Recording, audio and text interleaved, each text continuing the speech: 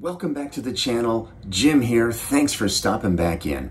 Today's topic is one that interests a lot of divers, and it's a very emotional topic. It's about whaling in Japan. I'm going to talk about what I heard, and it's kind of a conspiracy theory. I'd like to hear what you think about it. Stay tuned. Now, the first thing I'd like to say, I'd like to not talk about the morality or immorality or anything about surrounding whaling. I just want to talk about this conspiracy theory that I heard. Now, on the surface, whaling in Japan seems to make little or no sense. And here are the reasons. Uh, number one, there seems to be no natural domestic demand for whaling meat. For example, I've heard a lot of it is warehoused almost indefinitely because there's no demand. And I've heard that there's some efforts to artificially promote demand subsidies. Also, whale meat gets occasionally sent to schools. So actually, my sons used to have whale meat day at school.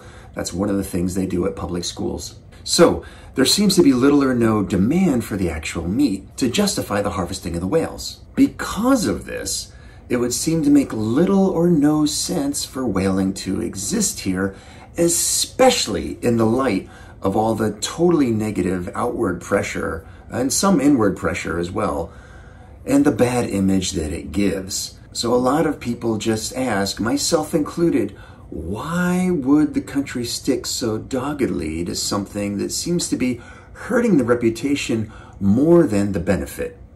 Because not a lot of demand internally or externally, and the bad face that it puts on the country. When I had inquired about this through the scuba industry and other aquatic industries, I ran into some interesting opinions. It's about 10 years ago now that this began. And what I heard was, is that whaling is actually a red herring. It's a decoy. And what it's a decoy for is to decoy attention away from more serious aquatic matters vis-a-vis tuna fishing and other fishing stocks that are more important, more widespread, and those collapses would be catastrophic. So tuna fishing, as China comes online, the people there become more affluent, they can start affording tuna and the demand goes up. That puts a tremendous stress on the stocks. Also other Asian countries as well. And tuna is just the largest species that this is a concern about. There are lots of other smaller species whose fishing numbers in recent years have become sensitive. Saba is, is one of them as well. So the thought is that the whaling issue, as improbable as it seems on the surface, is attracting, it's a big attraction, attracting attention away from other food issues that that actually will be more dire issues for humanity as a whole.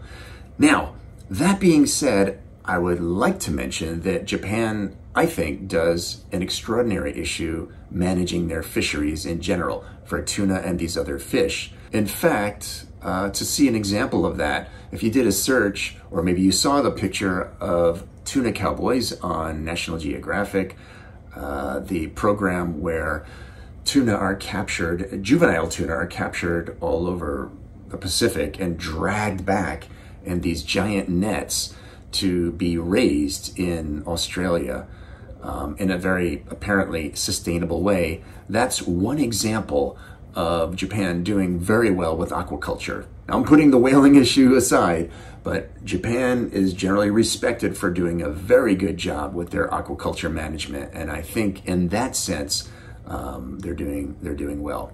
However, that being said, I did hear that whaling is the bait that's taking the attention away from the more serious issues. Let's hear some discussion. This is what I heard. What are your thoughts on that?